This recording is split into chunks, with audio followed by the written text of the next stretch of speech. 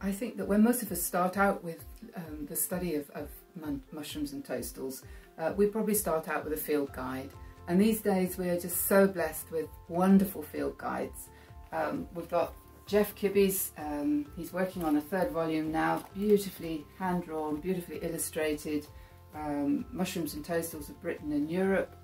Um, we've got um, a two-volume Fungi of Temperate Europe, which is just the most astonishing photographs and apps and, and wonderful text.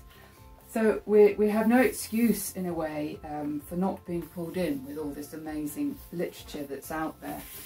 And even despite all of that, you will get to the stage where um, you, you cannot find with confidence what it is you've collected. There are so many things that look just like it.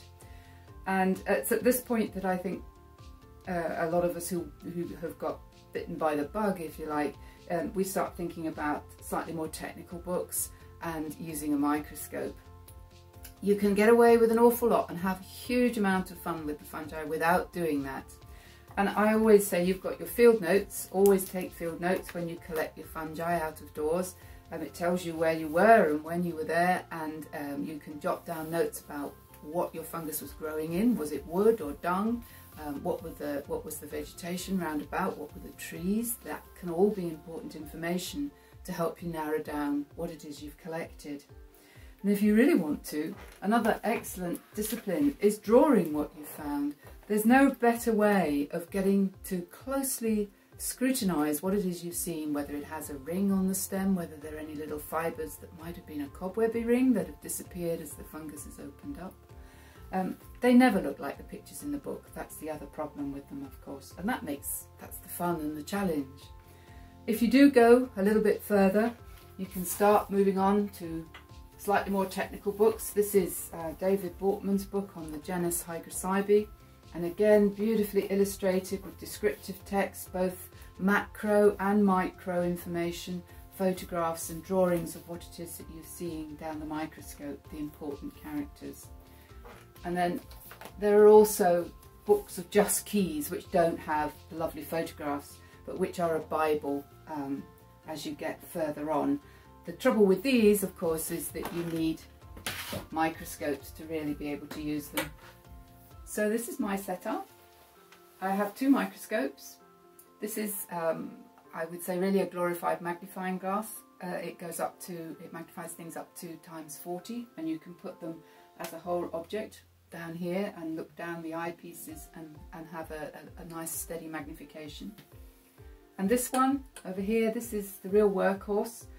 Uh, this is what we call a compound microscope and that will take, you have to prepare tiny fragments of, of the bit of fungus you want to look at and mount them on a glass slide and you can magnify them up to times 1000 if you need to. Sometimes you really do need to.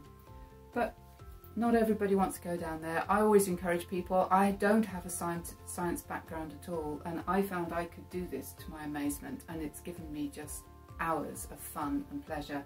I can't always get things out, it's quite frustrating sometimes, um, but the structures that you will see down there are delightful. Well, I think they are anyway.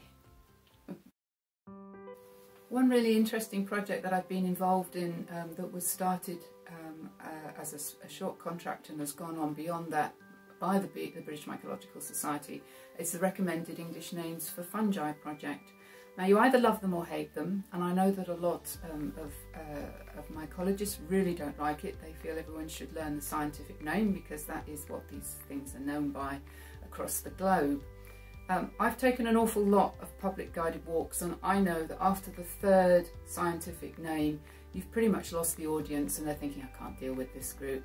Um, if you give them English names, common names we call them, um, yes they're still new names but it's not like a completely new language and so we thought uh, particularly because there were so many new field guides coming out and the publishers were insisting on English names and everyone was making up different English names for these, these fungi, we thought we would try and um, create a set of recommended names. Nobody can force these names.